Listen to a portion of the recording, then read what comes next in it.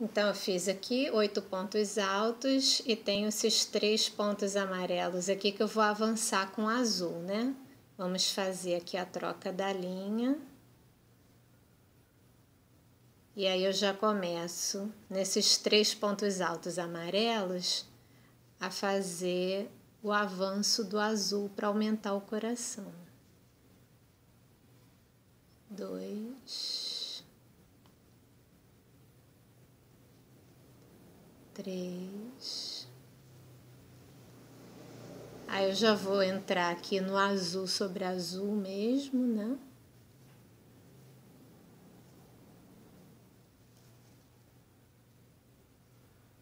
Fazer mais um aqui com vocês.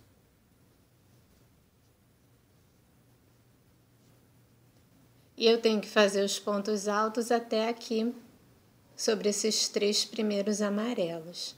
Eu vou fazer os meus e já volto.